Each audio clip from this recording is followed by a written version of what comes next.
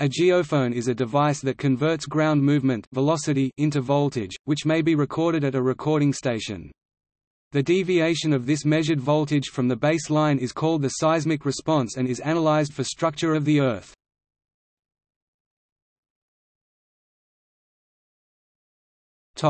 Etymology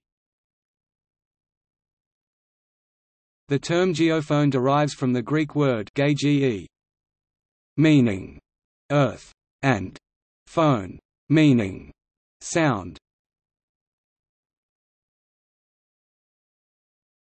Topic: Construction.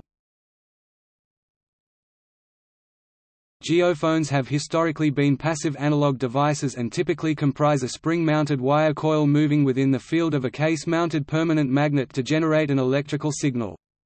Recent designs have been based on microelectromechanical systems MEMS technology which generates an electrical response to ground motion through an active feedback circuit to maintain the position of a small piece of silicon. The response of a coil-magnet geophone is proportional to ground velocity, while MEMS devices usually respond proportional to acceleration. MEMS have a much higher noise level 50 decibels velocity higher than geophones and can only be used in strong motion or active seismic applications. Topic frequency response The frequency response of a geophone is that of a harmonic oscillator, fully determined by corner frequency typically around 10 Hz and damping typically 0.707. Since the corner frequency is proportional to the inverse square root of the moving mass, geophones with low corner frequencies electronically, at the price of higher noise and cost. Although waves passing through the Earth have a three-dimensional nature, geophones are normally constrained to respond to single dimension, usually the vertical. However, some applications require the full wave to be used and three-component or 3C geophones are used.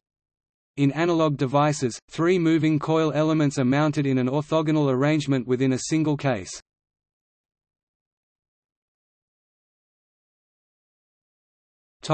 Uses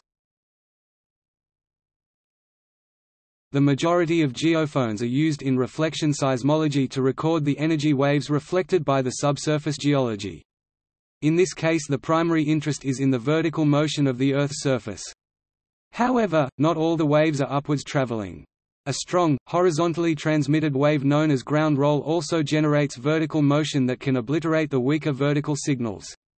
By using large areal arrays tuned to the wavelength of the ground roll the dominant noise signals can be attenuated and the weaker data signals reinforced. Analog geophones are very sensitive devices which can respond to very distant tremors. These small signals can be drowned by larger signals from local sources.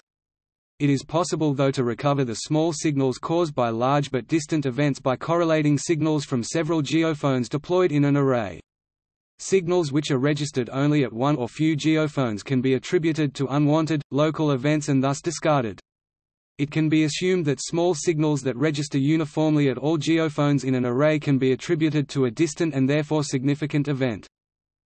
The sensitivity of passive geophones is typically 30 volts, meter per second, so they are in general not a replacement for broadband seismometers. Conversely, some applications of geophones are interested only in very local events. A notable example is in the application of remote ground sensors (RGS) incorporated in unattended ground sensor (UGS) systems.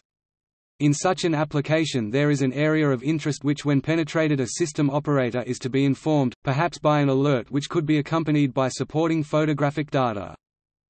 A network of geophones has been used on the Moon surface too.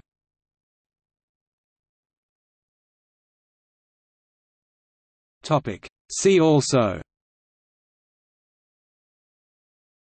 Accelerometer Hydrophone Michelson interferometer. Seismometer